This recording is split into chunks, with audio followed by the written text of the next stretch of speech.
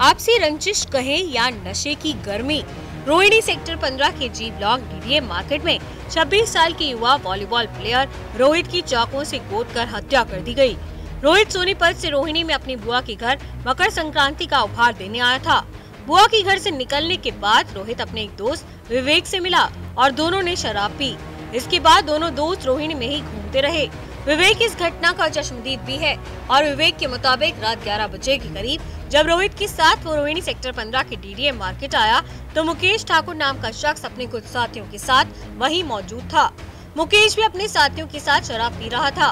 रोहित और मुकेश की आपस में गाली गलौच हुई, जिसके बाद मुकेश ने रोहित पर चाकू से हमला कर दिया। मुकेश के अन्य साथियों ने भी रोहित पर चाकू और डंडे से वार किए, जिससे उसकी मौत हो गई। जो विटनेस था उधर उसने बताया गया है ये दो तीन लड़के वहीं खड़े थे।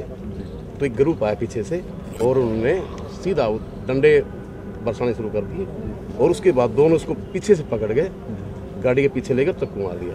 अच्छा। उसके बाद जो उसके साथ थे वो सब भागे और पीसीआर कॉल हुई है और पीसीआर कॉल से उन्हें ये पुलिस ले गई इसको हॉस्पिटल में वेयर प्रोटेक्ट रोहित के साथी विवेक के बयान पर मामला दर्ज हुआ है और पुलिस फ़िलहाल विवेक से पूछताछ कर रही है। पुलिस ने अन्य लोगों को भी हिरासत में लिया है और उनसे भी पूछताछ हो रही है।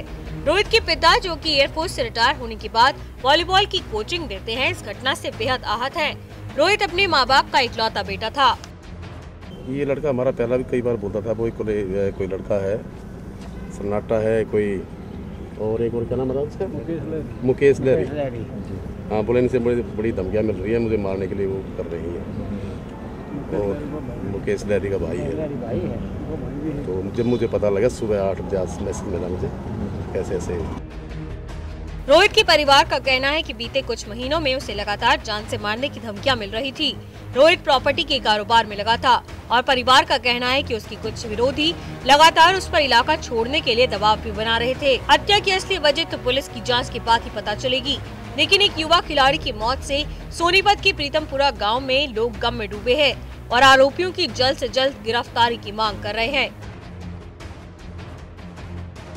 टोटल न्यूज़ के लिए दिल्ली से हर्षित मिश्रा की रिपोर्ट।